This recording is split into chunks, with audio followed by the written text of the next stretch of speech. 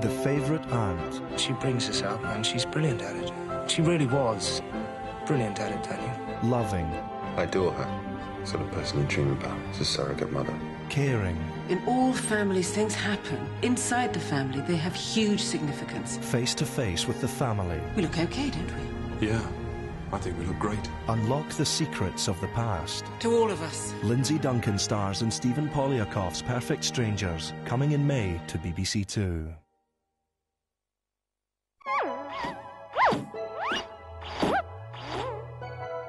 The new girl's dragged a bit of history with her on BBC Two. Sunnydale High, meet Buffy.